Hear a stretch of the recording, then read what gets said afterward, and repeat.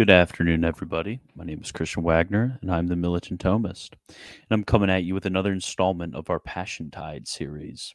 And this one's going to be on the commentaries on Aristotle. This actually, at least for me, personally speaking, revealing a little bit of my my weakness when it comes to uh, St. Thomas.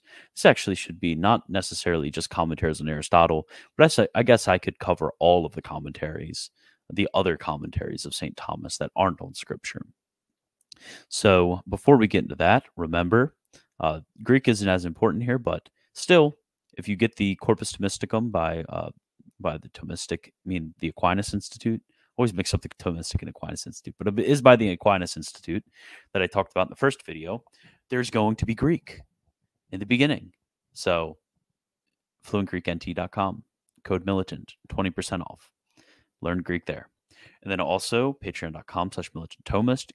And right there, you can, if you're interested in philosophy, I do post um, some uh, some videos on philosophy, on Thomas's philosophy on there, on his metaphysics that are uh, bonus videos after my normal uh, videos when it comes to Aristotle's metaphysics.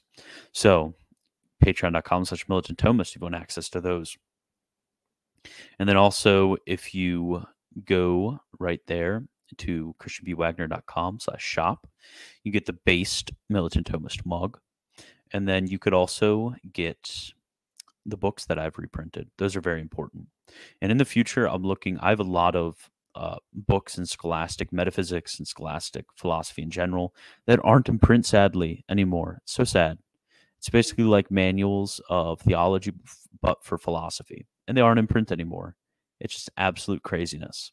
So if you keep up looking there, then eventually you will find it. Then also subscribe, like, um, Facebook, Twitter, um, even um, why can't I think of it?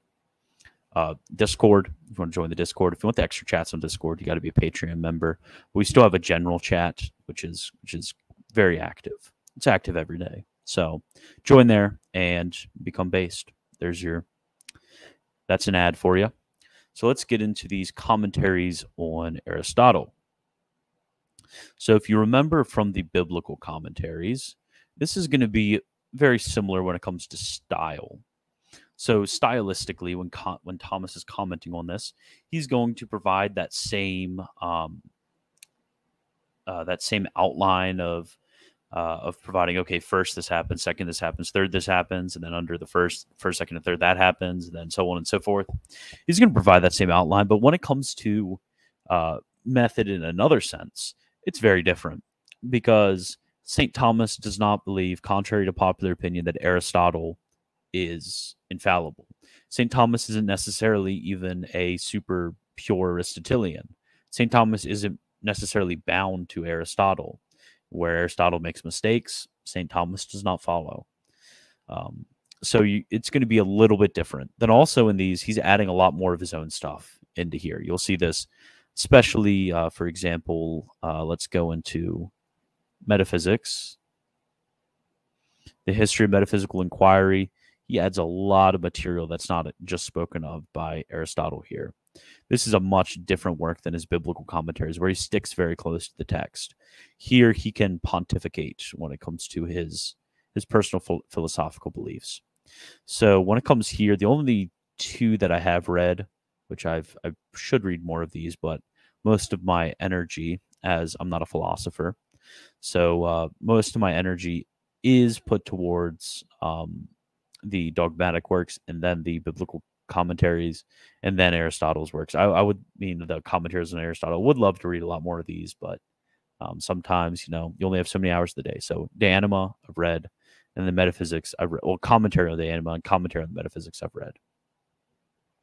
So you're going to have on the soul, on sense and what is sensed, physics, meteorology, on interpretation, posterior analytics, ethics, table of the ethics, politics, metaphysics, on the heavens, on generation and corruption. So St. Thomas provides a lot of good stuff here for our consideration. And then in other commentaries, he's these are a bit different because he has Dionysius on the divine names, which this is of this is actually one of my favorite. This is a hidden gem right here. um, on the divine names. And I think, actually, I think this is in English. But um, if you want a PDF, Isidore has a PDF. But this is a top notch work right here. Definitely a top notch work. It is it is just mind blowing. And Dionysius is very hard to read um, in the first place. So St. Thomas is definitely really helpful. And then obviously his commentary on Boethius's De Trinitate.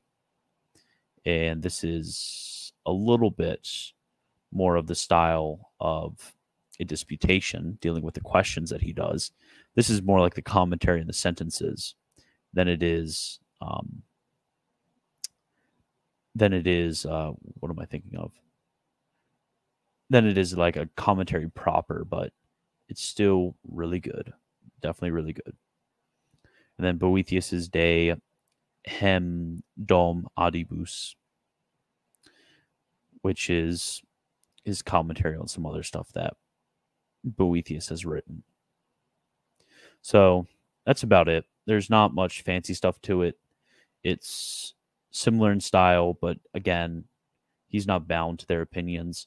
But after this, we're going to get into the opuscula, which this is where rubber hits the road. Amazing stuff that goes on here. Okay, that is all I have for you.